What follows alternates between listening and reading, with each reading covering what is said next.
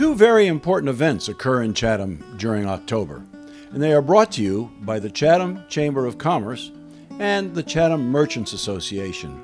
Here to tell you about them is the Chamber Executive Director, Lisa Franz.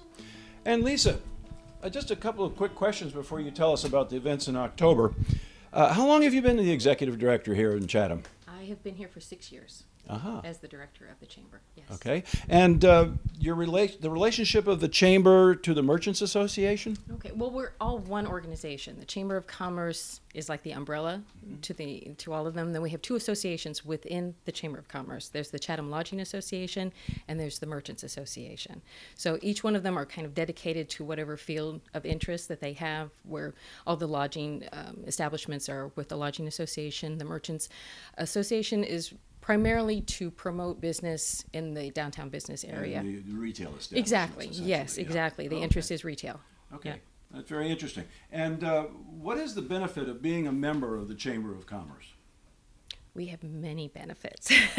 um, we have um, our visitor centers where we're standing right now in the um, Captain Bassett House. This is the year round visitor center. The administrative offices are here as well.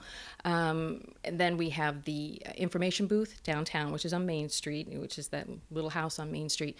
Um, for example, for the visitors that we have coming in yearly through August, between the two centers, we've had over 25,000 visitors that we've served.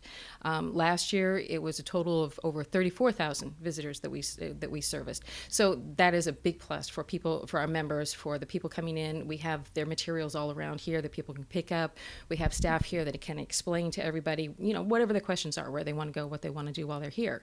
Um, we also have a guidebook, um, an annual guidebook that tells people where to go, what to do, um, that people pick up. We have it for weddings, we have it for groups, um, we have it for individual pickup. We'll mail them out to people who request them. We have it online so people can go through and just see everything, no matter where they're located.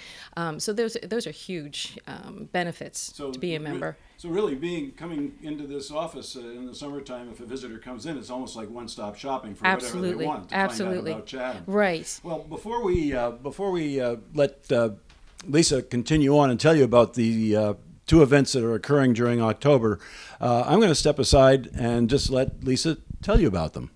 All right. Well, in the month of October, uh, the Chatham Merchants Association will be sponsoring the Pumpkin People in the Park, which will be in Kate Gould Park.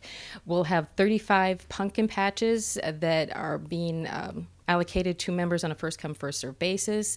Um, there's a designated website for the Pumpkin People and Oktoberfest, which is oktoberfestinchatham.com, and it's with a K, Oktoberfest in chatham.com and that'll give you all the information um, for Oktoberfest will be on. Oh well, let me go back. Um, Pumpkin People in the Park. The setup will be October seventeenth, and they'll be in the park through. Um, the end of the month through Halloween, October 31st, and we'll be taking them down November 1st. Um, in addition, we'll have Oktoberfest on Saturday, October 25th. That will run from noon to 4. Um, at the fest, we'll have a beer tent, we'll have food vendors. Um, Every year, Chatham Bars Inn comes with their lobster bratwurst, which are wonderful. We have a beer tent. We have seating for everybody. The Chatham Band will be playing in the bandstand as entertainment throughout the Oktoberfest, and we'll also have games for the kids. There'll be uh, pumpkin bowling. There'll be bean toss. There'll be uh, mini golf. We have a nine-hole mini golf game for everybody. Um, so uh, paint face painting, all kinds of different activities for the kids. So Oktoberfest in Chatham is a great time for people to come down, Gould Park, spend the day, and visit all of our local businesses.